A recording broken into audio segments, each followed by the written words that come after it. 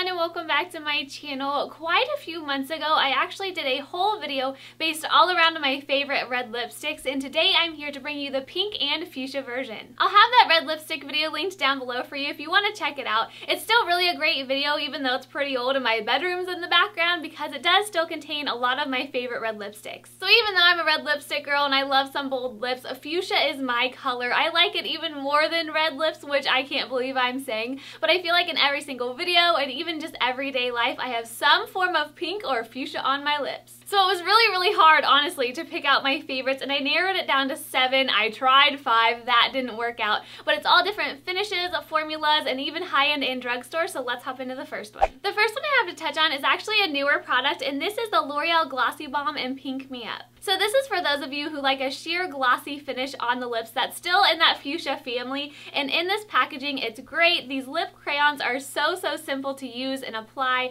They twist up from the bottom, so there's no need for a sharpener and they're great for quick touch-ups on the go. I consider this definitely an everyday fuchsia color. It's very sheer, very glossy, but it still packs some color. It's not one of those super creamy, like super bold formulas though, so you never have to worry about applying this with a mirror. You never have to worry about it traveling all over your face.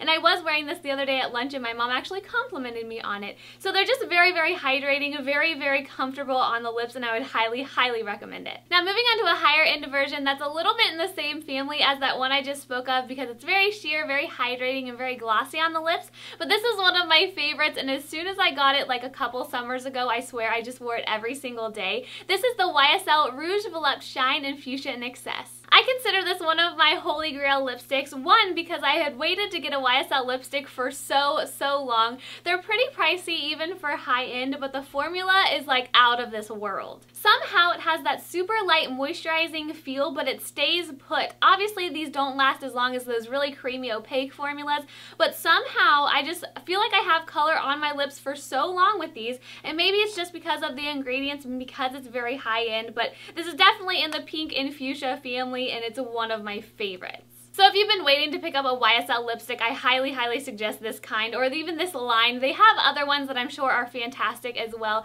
But if you like that sheer kind of pink color, that's totally great for every day. This is your product. Going to another one of my favorite high-end brands is this Bite Beauty lipstick in Vigne. This is probably the only one out of the bunch that is more on the neutrally pink side, but this shade is gorgeous. I remember I was actually on YouTube when I discovered this product and I don't even know how I did. I think I just tried it in the store and I gave one of these away actually for my one year YouTube anniversary. This is a color that's going to look good on absolutely anyone. I swear guys, anyone. And even though this is a really creamy, opaque formula that does pack a lot of color, it's nothing too overwhelmingly bright. And I just had to touch on this because this pairs super well with the Revlon Super Lustrous Lip Gloss in Berry Allure. I love this combo and I've actually worn it in a lot of videos. And also I honestly just can't rave about Bite Beauty enough. Their brand is amazing. They're only strictly strictly lip products, which I love in and of itself. And if you want to know more about the brand, I'll have my blog post linked down below. Going back to the drugstore now, I have another option for you guys that's probably my all-time favorite. I've worn this probably the most out of everything,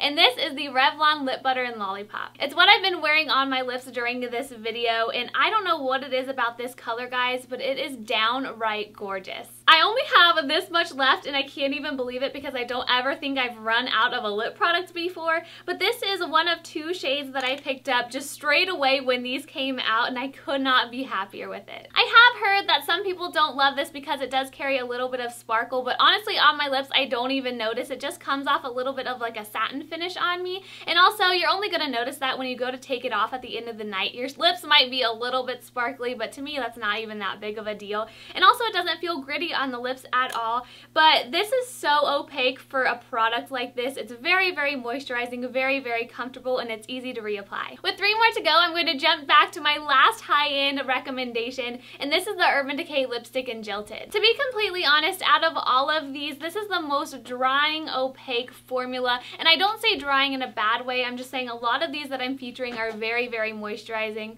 Sorry, Lily is like getting into all this stuff on the table. She's going nuts during this video and I keep trying to film it and I start over and I retake when she makes a loud noise, but I'm just gonna let her do her thing. Sorry for that little rant, but it's not drying. It's just out of all of these, probably the most less moisturizing. I don't know if that was the right combo of words there, but I really do love the color. It's a beautiful, beautiful, almost like iridescent fuchsia, and I have seen nothing else like it. I don't know if I'd really recommend this to just an everyday person that's kind of new to lipstick. I'd really just pick one of these up if you're like me and you love lip products and you want to try it because it's not the most comfortable on the lips, and I feel like if you're just someone who wants one lipstick to wear every single day, this isn't going to be the best option for you, but I don't want to make it sound bad because it is a great formula and a great color too, and it's really not that bad if you add a chapstick under it and even over top of it just occasionally when you're wearing it, but I just can't get past the color and the packaging, which is why I wanted to show you. Getting on to this next one, this is actually one of the only ones in this kind of lip gloss form,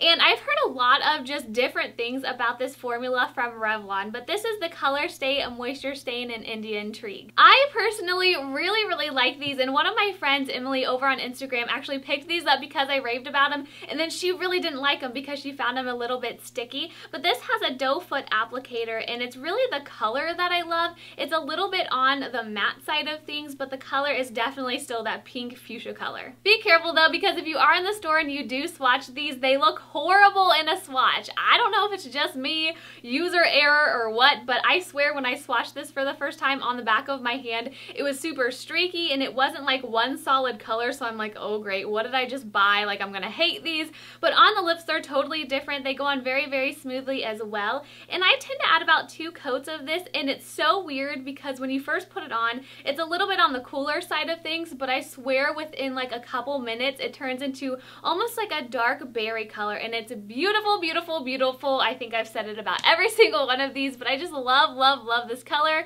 and fuchsia in general obviously. And last but not least, I had to show you a brand new matte version that I wanted to tell you about because I've been loving it. And really in these videos, I try to give you a little bit of everything. So this is just strictly matte, and this is the new Maybelline Matte Lipstick in Mesmerizing Magenta. This is probably the newest to my collection, honestly, out of all of these because this is a very new line from Maybelline. I'm sure you guys already know that. But I did feature it in a drugstore haul that I'll have linked down below if you haven't seen it already. I just can't get over the color. I love a matte fuchsia lip because I find that I don't find that finish very often in fuchsias, but it's very, very comfortable. It's a matte that's not super overly drying, which I've heard a lot of people say about this line, so that's awesome. Since this is new, I will be taking a photo of it and everything else over in that haul very soon and featuring it over on Instagram in First Impressions. I love doing that. I find Instagram such a great platform for that. So if you want to see more info on this and all of those other products, if you did see that drugstore video, then make sure you're following over on Instagram and my links below. So that's all I have for you in this video today. I really hope you enjoyed it. And please make sure to leave your favorite fuchsias down below in a comment.